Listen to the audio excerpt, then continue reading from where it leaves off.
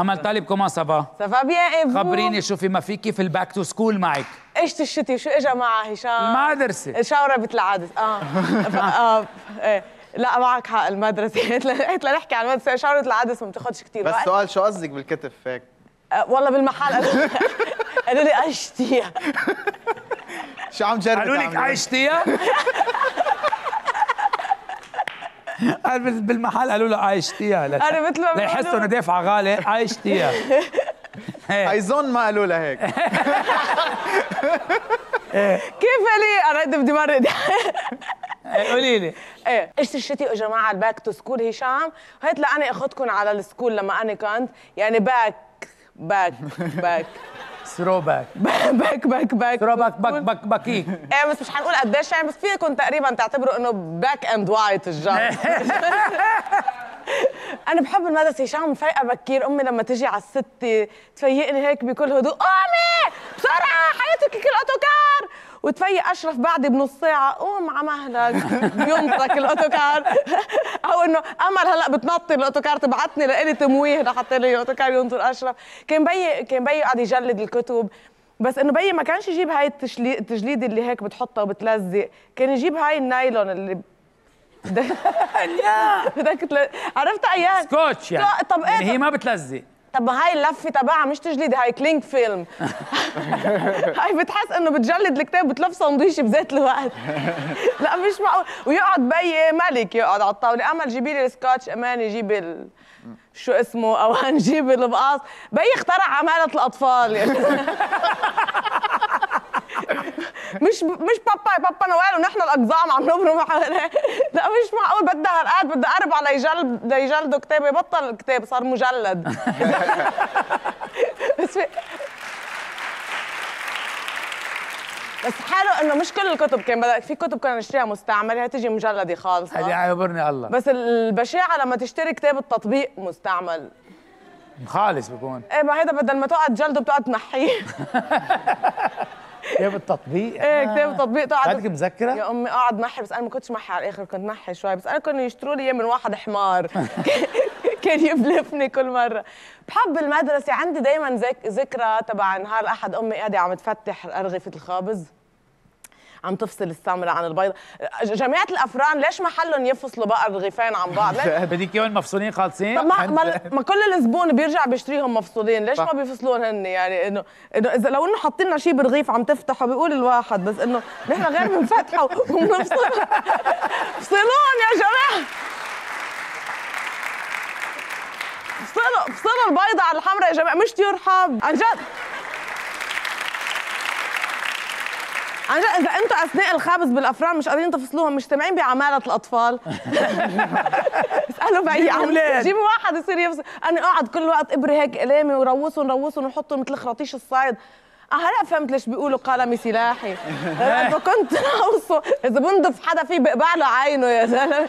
كنت تبري. كل الأقلام. إيه وبجهزهم هيك. كنت ألبس المريول من أشرف لأنه صغري عليه. كنت ألبس الشنطة من أشرف لأنه صغرت على الإيغو تبعه. لكن انت كنت برسمية؟ لا كنت بال Sainte Famille. كنا أربع أولاد بي يدفع علينا فكنا مجبورين ناخذ من أشرف اغراض آه. هشام أنا بدي أشكي شوي عن هالموضوع يعني التمييز بين الخاي وال نحن تعبنا أستاذ مارسيل.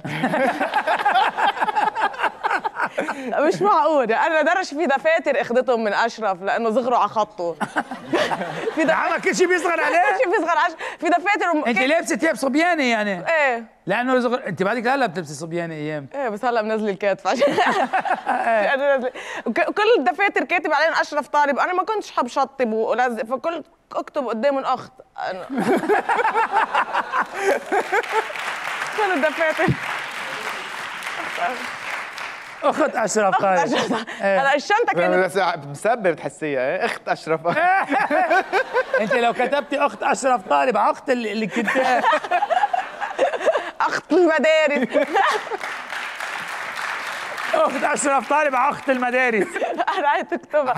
هلا الشنطة كانت طبقه واحدة بتحط تحط فيها الكتب والدفاتر وال lunch box اللي هي لا كانت لا lunch ولا box هي كانت عبارة عن ساندويشة ميتة. طبقة واحدة لأنه أمك مفتحتها قبل بيوم وهيدي إنه إذا ما أكلتها فيك تستعملها مسطره قد ما بتجي بيابسه